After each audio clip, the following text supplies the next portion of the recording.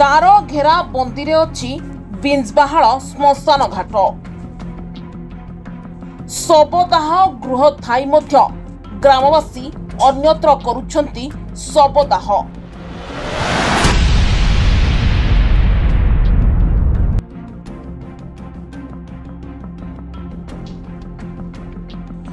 ଲୋକମାନେ ପୂର୍ବରୁ ଶବକୁ ଶ୍ମଶାନ ଘାଟରେ ଶବଦାହ କରୁଥିବା ସମୟରେ ଖରା ବର୍ଷା ଏପରି ବହୁ ଅସୁବିଧାରେ ସମ୍ମୁଖୀନ ହେବାକୁ ପଡୁଥିଲା ଯାହାଫଳରେ କେନ୍ଦ୍ର ସରକାର ପ୍ରତ୍ୟେକ ଗାଁରେ ଶବଦାହ ଗୃହ ନିର୍ମାଣ କରିଥିଲେ।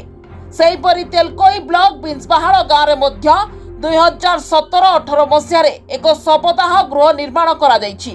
କିନ୍ତୁ ଏହି ଗାଁର କିଛି କୁଚକ୍ରୀ ଗୋଷ୍ଠୀ ଉକ୍ତ ଶବଦାହ ଗୃହକୁ କଣ୍ଟା ବାଡ଼ରେ ଘେରାବନ୍ଦୀ କରି ରଖିଛନ୍ତି ଯାହାଫଳରେ ବିଞ୍ଜବାହାଳ ଗ୍ରାମବାସୀ ଶବଦାହ ନିମନ୍ତେ ବହୁ ଅସୁବିଧାର ସମ୍ମୁଖୀନ ହେବାକୁ ପଡୁଛି।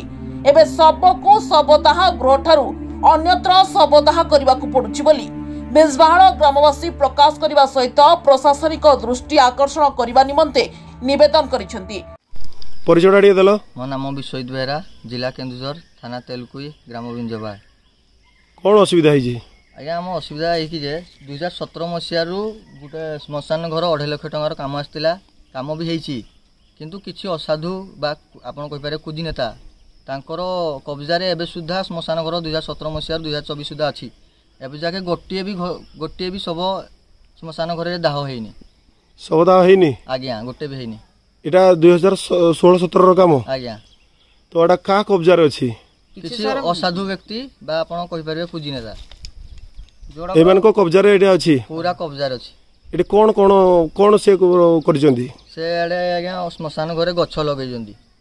ଶ- ଶ୍ମଶାନ ସ- ଗ- ଘର ସାଇଡରେ ଗଛ ଲଗା ହେଇଛି? ଗଛ ଲଗା ହେଇଛି ବାଡ଼ ଦେଇକି ପୁରା ବାଡ଼ ବନ୍ଦି କରିଦିଆଯାଇଛି। ତାର ବାଡ଼ ବନ୍ଦି ହେଇଛି ଆଉ। କେହି ଲୋକ ଗୋଟେ ବି ପ୍ରବେଶ କରିପାରିବେନି ଯେ ସେମିତି ବାଡ଼ ପୁରା ଫୁଲ ବାଡ଼ ଦେଇଦେଇଛନ୍ତି ବର୍ଷା ଦିନ ଲୋକ ହଇରାଣ ହେବେ ଆଉ। ତ ଲାଭ କ'ଣ? ସରକାର ଏ ହେଇକି ବନେଇକି ଲାଭ ଲାଭ କ'ଣ? କ'ଣ? ଏଇ ଶ୍ମଶାନ? ଘରଟା ବନେଇକି ଲାଭ କ'ଣ ତାହେଲେ? ପରିଚୟଟା ଟିକେ ଦେଲ? ମୋ ନାଁ ରଜତ କୁମାର ମାଝୀ।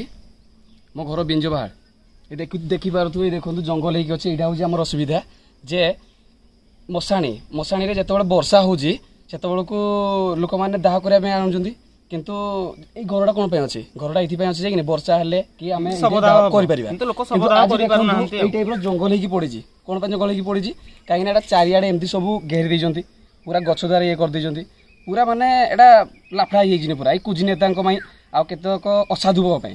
ବୁଝି ପାରୁନାହାନ୍ତି ଟୋଟାଲ ଭାବରେ। ଗଛ ଲଗେଇକି ସବୁ ଆମ୍ବ ଗଛ ସବୁ ସେ ତା ଚାଷ କରୁଛନ୍ତି ଏଠି ଆଉ। କହିବାକୁ ଗଲେ ଚଳେ ଚାଷ ଯୋଉଟା କରିବା ୟୁଜ୍ ହଉନି ୟୁଜ୍ ହେବା ଦରକାର। ୟୁଜ୍ ହେବା ଦରକାର। ଆମର ଏ ସରକାରଙ୍କ ଟଙ୍କାରେ ନିଜେ ଏଇ ଅଢେଇ ଲକ୍ଷର କାମ ଆଜ୍ଞା।